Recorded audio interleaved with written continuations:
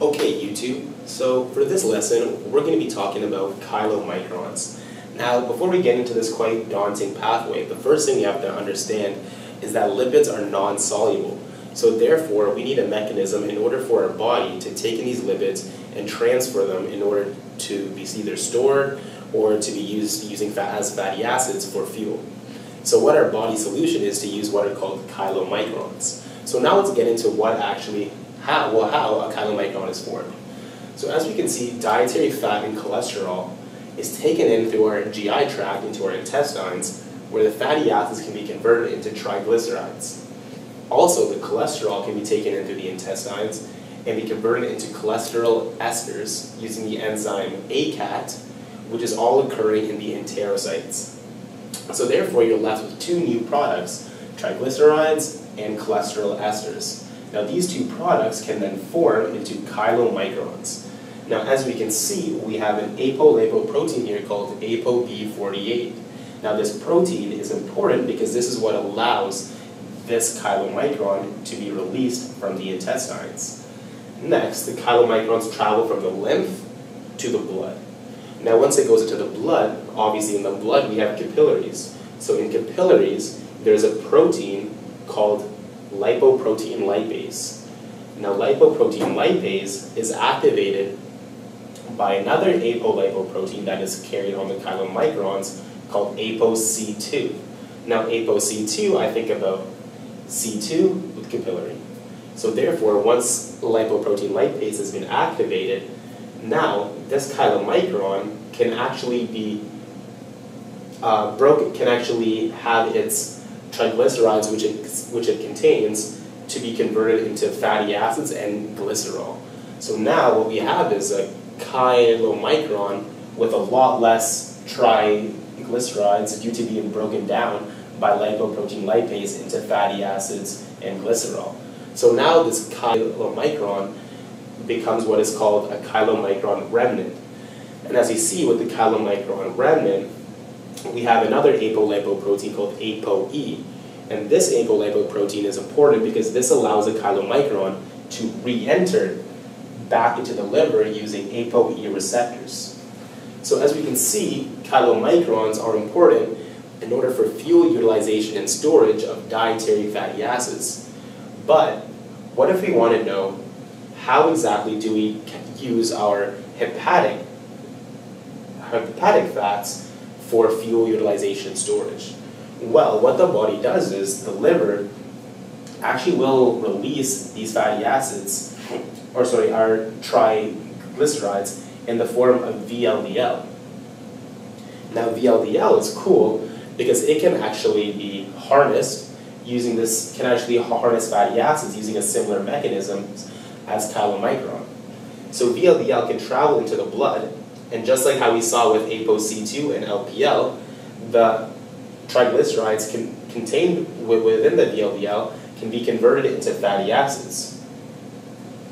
Therefore, this is going to be causing a decrease in triglyceride levels in the VLDL. Now here we have a protein called CETP. Now this protein, or enzyme, sorry, is very important because I'm actually going to talk about it more when relating to HDL, but we can cover it now. So CETP actually is sort of like an exchanger type enzyme where the VLDL gives its triglycerides to the HDL. In exchange, the HDL gives its cholesterol to the VLDL, causing a decrease in the total triglyceride level in the HDL and the VLDL, and an increase in the levels of cholesterol in the VLDL. So therefore, we have a different composition of VLDL, which is what we call IDL. Now IDL, similarly to LPL, goes under what is called hepatic lipase instead of lipoprotein lipase to also release fatty acids. So now we have IDL, which has much less triglycerides because more have been converted to fatty acids, and therefore you're left with a structure called LDL, which as we can see has a lot less tri triglycerides as fatty acids have been continuously been dumped out, and an increase in cholesterol.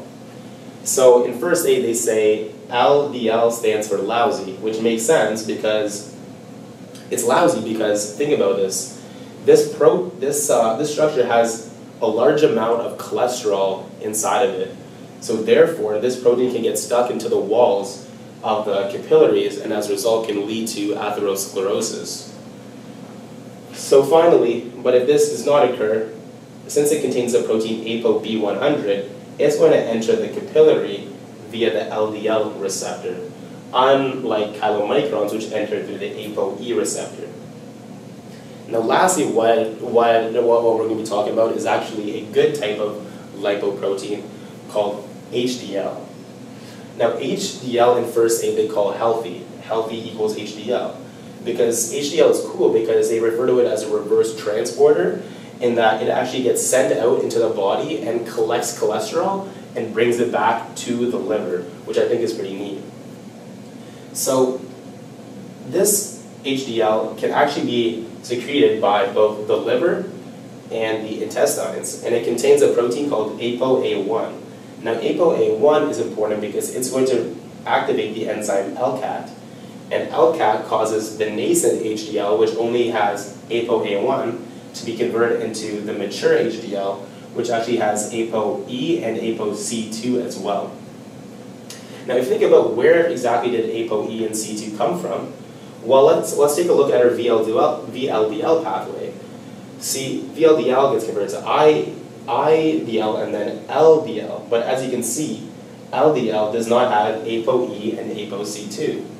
So therefore, we can see that ApoE and ApoC2 are returned back, or should I say recycled, to the HDL because the HDL is what is the original carrier of the ApoE and ApoC2 proteins.